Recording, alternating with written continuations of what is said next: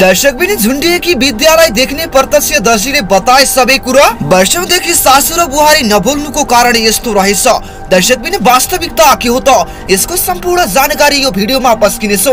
त्यसैले यो भिडियोलाई अन्तिमसम्म हेर्नुहोला। साथै साइडमै रहेको बेलायकन प्रेस गरी सुन्दर परिवारको सदस्य अवश्य बन्नुहोला।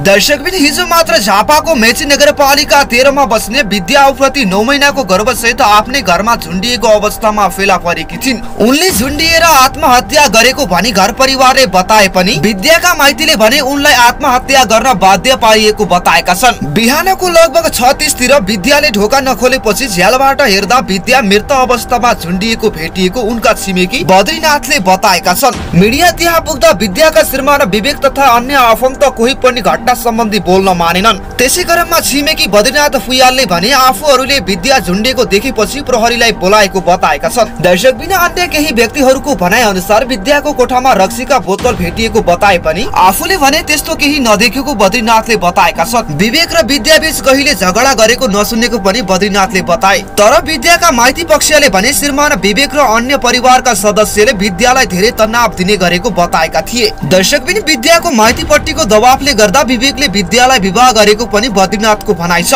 तर विद्याकी एक आफन्तले भने उनीहरू बीच पहिले नै प्रेम सम्बन्ध रहेको र त्यसै बीचमा विद्या गर्भवती भएपछि उनीहरू भागेर विवाह गरेको बताएकी थिइन्। बिहानको लगभग छत्तिसतिर विद्याले ढोका खोलिन् भन्दै विवेक आफ्नो घरतिर आएको बद्रीनाथको भनाइ छ। विवेक चर्पी गएको बेला विद्याले ढोका लगाएको विवेकले आफूले बताएको बद्रीनाथको भनाइ छ। त्यस दिन आफू र विद्या अलग अलग सुतेको विवेकले आफूलाई बताएको उनको भनाइ छ।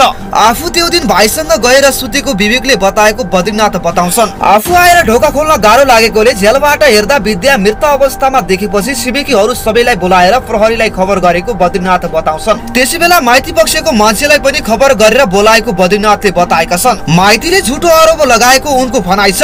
दर्शक पनि खाटोमाथि सलले झुन्डिएको र खुट्टा भुइँमा टेकेको अवस्थामा सब रहेको भने सत्य भएको बद्रीनाथको भनाइ छ। माइतीले आरोप लगाए जस्तो सासुवारीको सम्बन्ध नराम्रो भएको आफूहरूलाई थाहा नपाएको बद्रीनाथले बताएका छन्। छोराले आफ्नो सल्लाह बिना नै बुहारी ल्याए पनि मेरो छोरी नभए पनि छोरी आइन् भनेर सासूले सहजै स्वीकार गरेको बद्रीनाथको भनाइ छ। माइती पक्षबाट भने त्यहाँ आएर विद्याकी सासू र विवेकका भाइलाई लसार पसार गरेको बद्रीनाथले बताएका छन्। दर्शक बिना आजको भिडियो कस्तो लाग्यो त जस्तो लाग्यो त्यस्तै सल्लाह सुझाव अनि प्रतिक्रिया तल कमेन्ट बक्समा छोड्नु होला भन्दै आजको भिडियोबाट बिदा हुन चाहन्छु। नमस्कार।